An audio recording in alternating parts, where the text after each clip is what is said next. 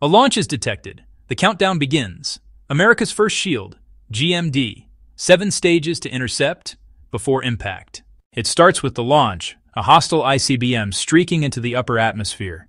Infrared satellites catch the heat signature instantly. The alarm spreads across the global network. Ground and sea-based radars in Alaska and the Pacific sweep the skies, refining trajectory, calculating impact. The order is confirmed.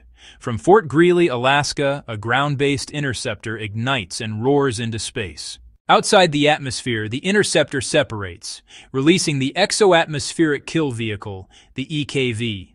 Surrounded by decoys, the EKV hunts the real warhead, steering with micro thrusters in total silence. Then, impact. No explosives, just pure kinetic energy, one object striking another at hypersonic speed. Ground-based mid-course defense, America's first shield. Subscribe for more stories.